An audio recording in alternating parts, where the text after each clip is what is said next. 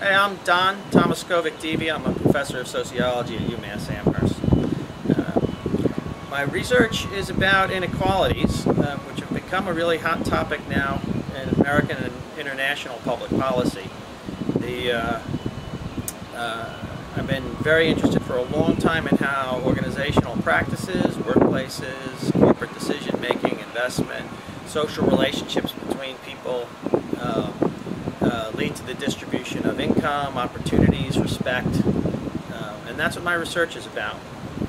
There's some research is about uh, the striking uh, rise of the finance sector and financial principles in the way uh, private sector corporations are organized.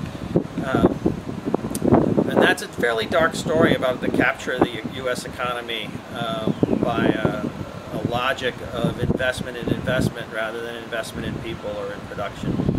Um, I've got another really interesting project right now where I'm organizing researchers in Germany and France, Sweden, Spain, uh, Slovenia, uh, to look at how in their how organizations, corporations in their country have um, let, have uh, changed their pra pay practices, how inequality has increased, and with what consequences for what people.